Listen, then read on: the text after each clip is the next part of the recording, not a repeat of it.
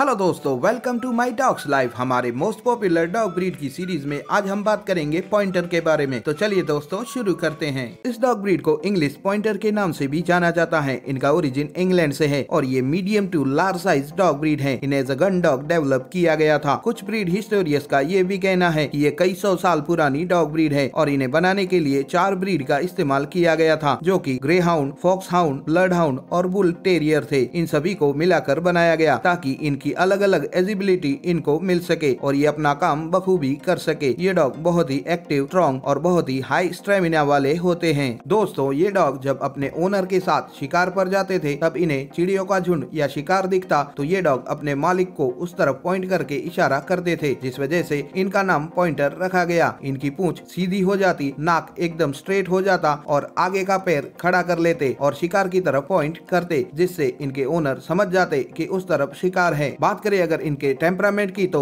भले ही ये हाई एनर्जी वाली डॉग ब्रीड है इन्हें एज हंटिंग डॉग ब्रीड किया गया लेकिन इनका टेम्परामेंट बहुत ही काम है ये डॉग सबके साथ फ्रेंडली होते हैं लेकिन स्ट्रेंजर्स के साथ जल्दी घुलते मिलते नहीं है लेकिन स्ट्रेंजर्स के सामने बिल्कुल भी एग्रेसिव नहीं होते बात करें अगर इनकी हाइट की तो इनमें मेल की हाइट 25 टू 28 इंचेस और फीमेल की हाइट 23 टू 26 इंचेस होती है बात करें अगर इनके वेट की तो इनमें मेल का वेट 25 टू 34 फोर